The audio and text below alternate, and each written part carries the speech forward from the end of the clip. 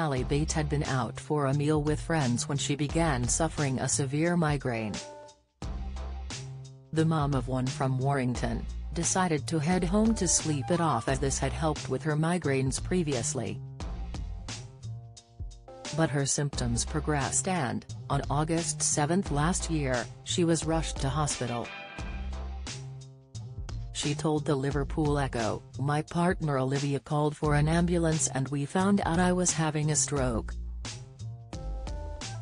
I didn't have a clue what was going on as I was so out of it.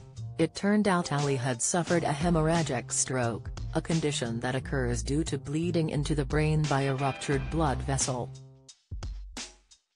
Ali had begun suffering from migraines more frequently before the stroke, and these masked any other symptoms. She never suspected it could be a stroke as she was young. According to the Stroke Association, the most typical symptom of a hemorrhagic stroke is a sudden, severe headache, sometimes called a thunderclap headache.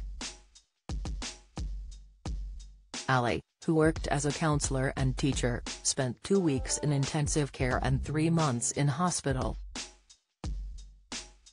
But the now 39-year-old had been left with paralysis to the left side of her body and is slowly learning to walk again.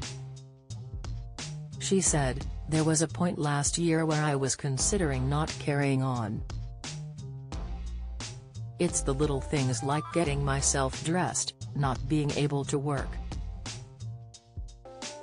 For example, with only one hand I can't put my hair up, I can't go to the toilet by myself and put clothes on myself. You can't help but go to a dark place. Ali added, I didn't want to fall into a hole and I look at what I can do rather than what I can't do. I refuse to let it get to me and I need to be there for my son Mason and my family.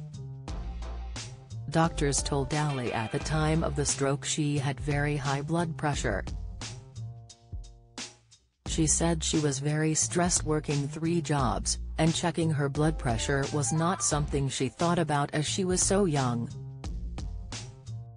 Ali now hopes to raise awareness for stroke, particularly among people of any age, as she believes adverts highlighting symptoms are stereotypically targeted at older people.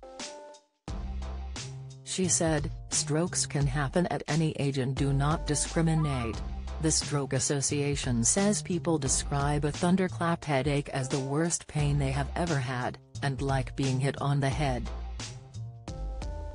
The charity advises, if you or someone you know has a thunderclap headache, even if it goes away by itself or with painkillers, you should call 999. Ali's partner Olivia has now set up a GoFundMe page to raise funds for alternative treatment in America. To donate to the GoFundMe page, please click here.